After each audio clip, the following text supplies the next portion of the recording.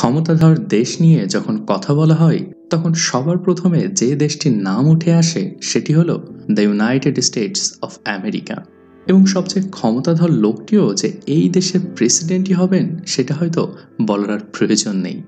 যেহেতু প্রেসিডেন্সি অবশ্যই এক ধরনের সরকারি সেবা, কাজে এই কাজের জন্য যে বেতন রয়েছে, এটা হয়তো ভাবাই যায়। আর তাই আপনার মনে এ প্রশ্ন জাগতেই পারে যে পৃথিবীর এই সবচেয়ে ক্ষমতাধর মানুষটির বেতন আসলে কত? ইউএস এর প্রেসিডেন্টের বেতন এবং আরও কিছু খুঁটিনাটি বিষয় নিয়ে, তাই চলুন শুরু করা যাক আজকের ভিডিও।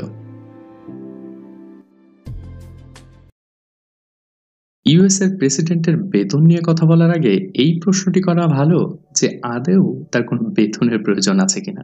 অর্থাৎ ভেবে দেখুন যে আমরা একটি দেশের প্রেসিডেন্টকে নিয়ে কথা বলছি। এবং দেশটিও যেমন তেমন কোনো দেশ নয়, আমেরিকার মতো একটি শক্তিশালী দেশ। শুধু একবার ভাবুন যে একজন প্রেসিডেন্ট কীভাবে চলাফেরা করেন। তার গাড়ি, থাকার জন্য সরকারি বাড়ি, শতাধিক সিকিউরিটি গার্ড, পার্সোনাল জেট আর সবকিছুতেই সর্বোচ্চ সেবা। এমন কারও কি আসলে কোনো বেতনের প্রয়োজন আছে? কিন্তু ইউএস এর প্রেসিডেন্টও আর সব সরকারি সেবার মতোই বেতনভুক্ত এবং তারও অবশ্যই বেতনের প্রয়োজন আছে। থাকার জন্য ইউএস এর প্রেসিডেন্টকে হোয়াইট হাউস দেওয়া হলেও এর সকল সেবা বিনামূল্যে পাওয়া যায় না। হোয়াইট হাউসের ভাড়া এবং প্রেসিডেন্ট ও তার পরিবারের খাওয়ার খরচ সরকারিভাবেই পূরণ করা হয়। কিন্তু প্রেসিডেন্টের পার্সোনাল কোনো গেস্টের খাবার খরচ সরকার বহন করে না।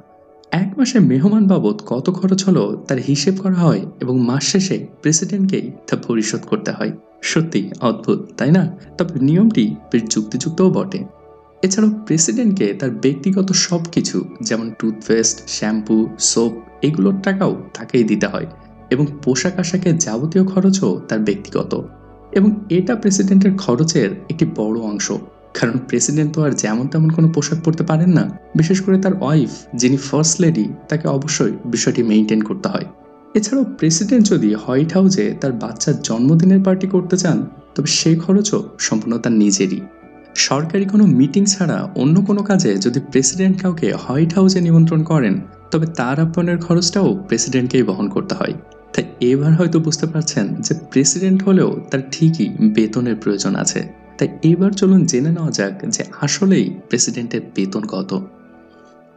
প্রেসিডেন্টের বেতন মূলত ঠিক করা হয় কংগ্রেসে ভোটিং এর মাধ্যমে এবং তার বেতন হতে পারে বর্তমান মুদ্রাস্ফীতির ছয় গুণ। সতেরোশো উননব্বই সালে জর্জ ওয়াশিংটনের বেতন ছিল পঁচিশ হাজার ডলার। অর্থাৎ বর্তমান সময়ে যার হিসেব করলে দাঁড়ায় প্রায় সাত লক্ষ কুড়ি হাজার ডলার। আঠারোশো বিরানব্বই সালে দ্বিতীয় দফায় প্রেসিডেন্টের বেতন বাড়ানো হয় এবং তা গিয়ে দাঁড়ায় পঞ্চাশ হাজার ডলারে।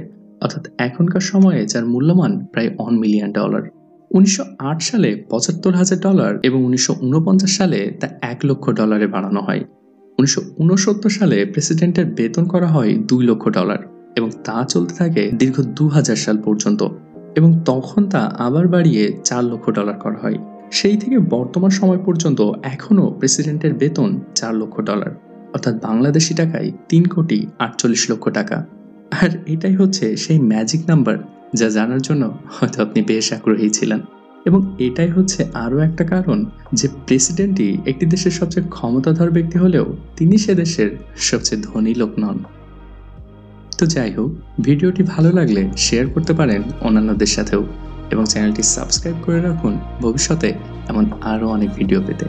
ভালো থাকুন সবাই, সুস্থ থাকুন সবাই। ধন্যবাদ।